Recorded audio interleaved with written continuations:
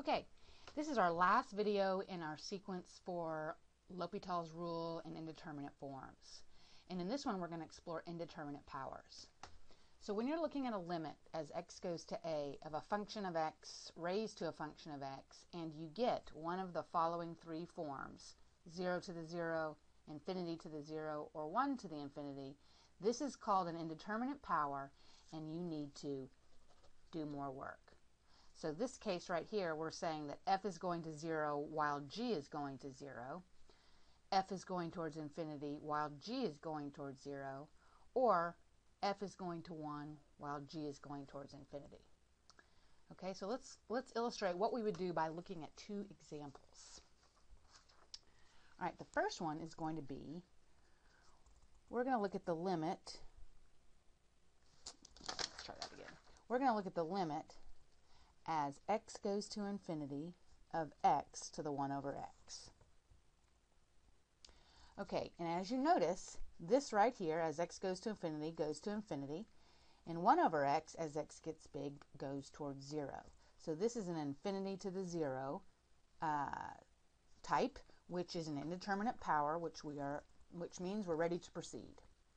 Okay, so what I'm going to do is I'm going to let y be equal to x to the 1 over x.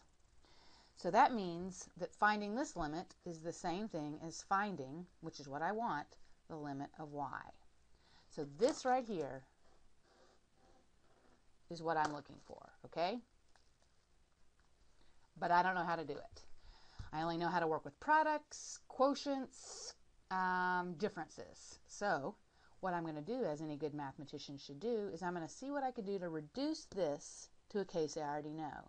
And that's going to involve getting this power down, which should make you all think of logs. So I'm going to take the natural log of both sides.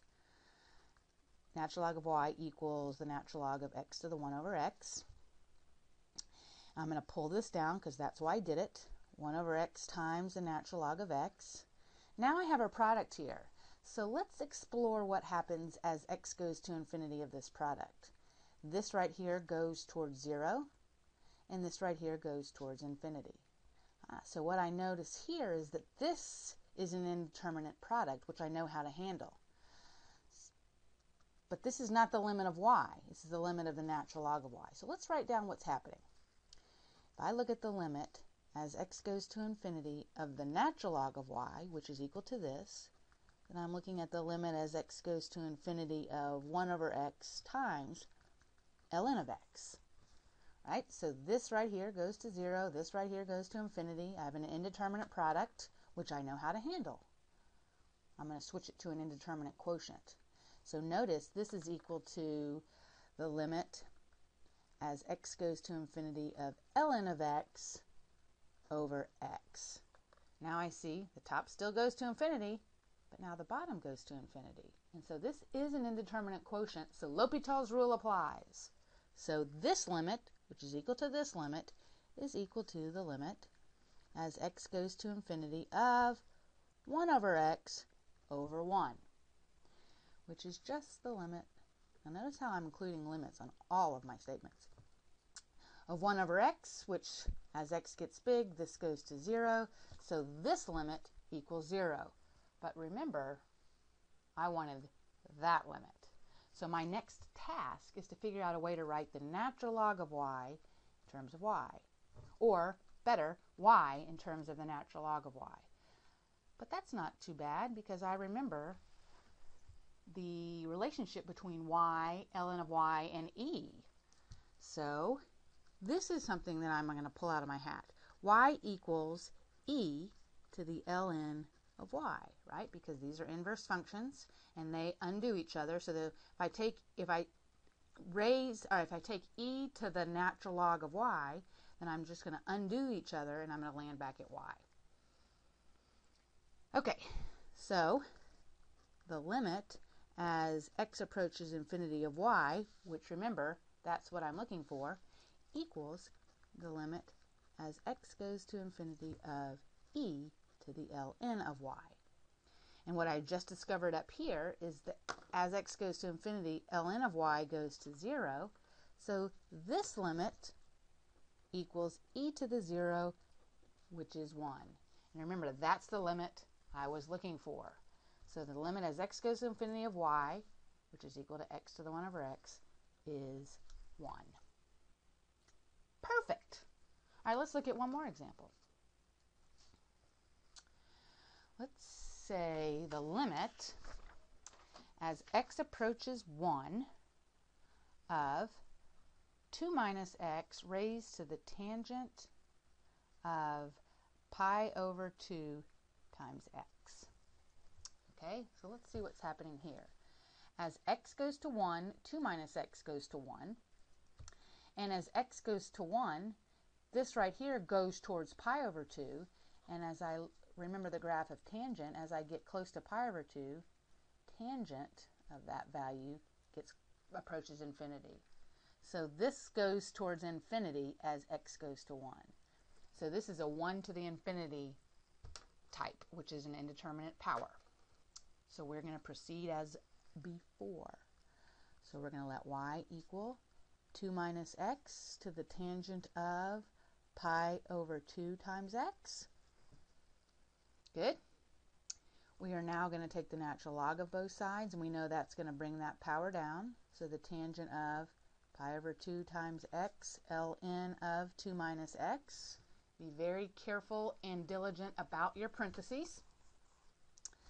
I'm now going to look at the limit as x goes to 1 of the natural log of y, which equals the limit as x goes to 1, oops, almost wrote infinity, x goes to 1 of the tangent of pi over 2 times x times the natural log of 2 minus x.